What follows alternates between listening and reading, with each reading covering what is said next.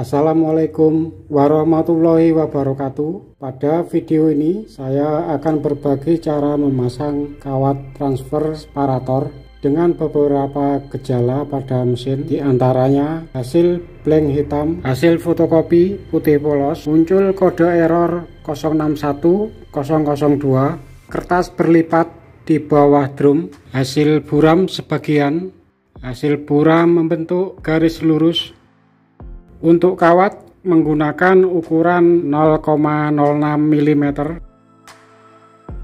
Kita siapkan peralatannya dari obeng, pinset, jepit, gunting, dan lain-lain.